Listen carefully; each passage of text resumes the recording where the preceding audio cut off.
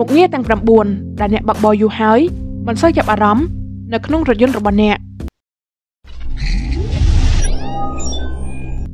ទាំងនេះគឺជាមុខងារសំខាន់សំខាន់ចំនួន9ដែលអាចជួយឲ្យអ្នកបើកបរមានភាពងាយស្រួលក្នុងការប្រើប្រាស់រថយន្តរបស់អ្នក1ប៊ូតុងចាក់សោកញ្ចក់ទ្វាររថយន្តការចាក់សោកញ្ចក់ទ្វារប្រើសម្រាប់ការពារអ្នកដំណើរនៅកៅអីខាងក្រោយមិនឲ្យបើកកញ្ចក់របស់ពួកគេ សម្រាប់កូនក្មេងជាដើម ជាទូទៅ វាជាប៊ូតុងដែលជាទ្វារដែលមានខ្វែងហើយស្ថិតនៅលើទ្វាររបស់អ្នកបើកបរ2ភ្លើងសំផ្លូវភ្លើងសំផ្លូវជាធម្មតាត្រូវបានបើកដោយប៊ូតុងនៅកណ្ដាលតាប់ឡូដែលមានរាងជាត្រីកោណពណ៌ក្រហមប្រសិនបើរថយន្តរបស់អ្នកកំពុងមានបញ្ហា អ្នកគួរតែប្រើភ្លើងនេះដូចជាអ្នកមានការប្រញាប់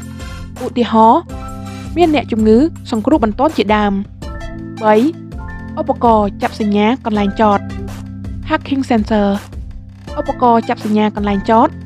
ត្រូវបានបំពាក់នៅខាងមុខនិងខាងក្រោយនៃរថយន្ត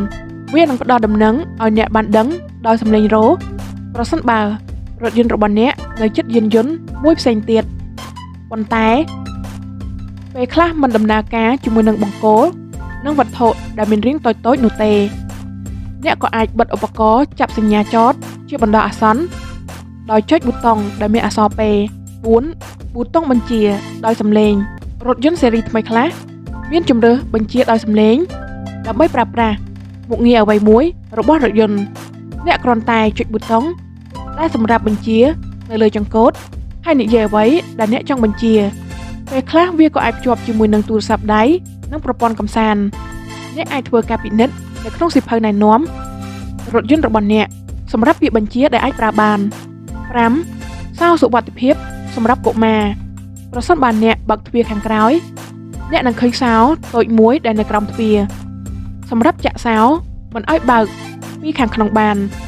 ដើម្បីការពារកុមារតូចតូចបើកទ្វារលេងខណៈពេលដែលកំពុងបើកបរ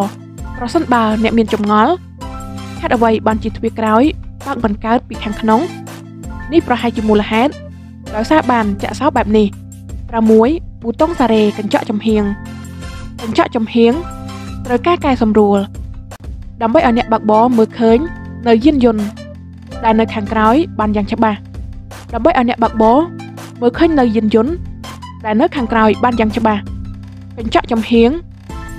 ភាគច្រើនត្រូវបានគេកែសម្រួលតាមប្រព័ន្ធអេឡិចត្រូនិកហើយដោយវា មានប៊ូតុងសម្រាប់សេរ៉េឆ្វេងឬស្ដាំ និងឡើងលើឬចុះក្រោម7ប៊ូតុងបិទសំឡេងវាមានប្រយោជន៍សម្រាប់បិទសំឡេងម៉ាញ៉េបានភ្លាមភ្លាមប្រសិនបើរថយន្តរបស់អ្នកត្រូវបានបំពាក់ប៊ូតុងមួយនេះ វានឹងស្ថិតនៅលើដៃចង្កូតរថយន្តនៅក្នុងឧទាហរណ៍បើអ្នកគ្រាន់តែចុចប៊ូតុងនេះធម្មតាវានឹងផ្លាស់ប្ដូរមកបើកសំឡេងវិញប្រសិនបើអ្នកបានដំឡើងឧបករណ៍ចម្រៀងផ្សេងហើយចង់ប្រើប្រាស់ប៊ូតុងនេះ អ្នកក៏ត្រូវភ្ជាប់ជាមួយប៊ូតុងនេះផងដែរ8ប៊ូតុងសារ៉េកន្លែងអង្គុយ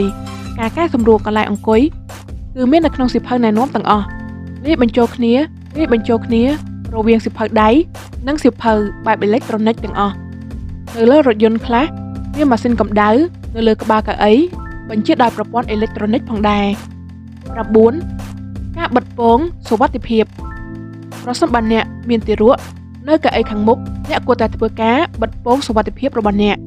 វាស្ថិតនៅក្នុងកន្លែងដាក់ឧបករណ៍អ្នកអាចពិនិត្យនៅក្នុងសិភៅណែនាំរបស់អ្នក